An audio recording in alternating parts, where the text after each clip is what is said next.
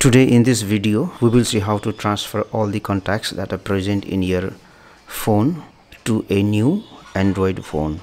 For that one I will open contacts application. Then I will tap on this more option here manage contacts. Then I will select this option import slash export contacts. After that select this option export. Now you can either export all the contacts to a SD card or to a SIM card. It's up to you what you want to use in your new phone. So suppose if you want to use the same SD card in a new phone then select this option SD card and then export.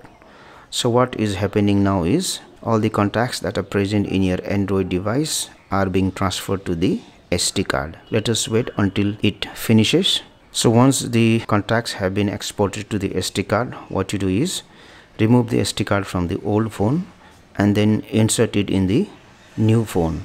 After that again you have to go to contacts application on the new phone.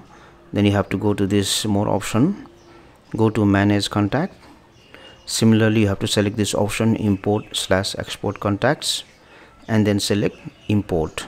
Now since we have transferred all the contact to the SD card so you have to select this option SD card so that you will import the contact that are present in the SD card to your new phone. So select the contacts.vcf file which contains all the contact and then done.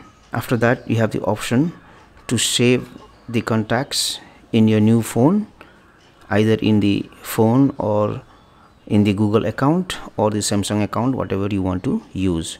So if you want to save the contact in your phone then select this option phone and then if you select import. All the contacts that are present in the SD card will be imported to your new phone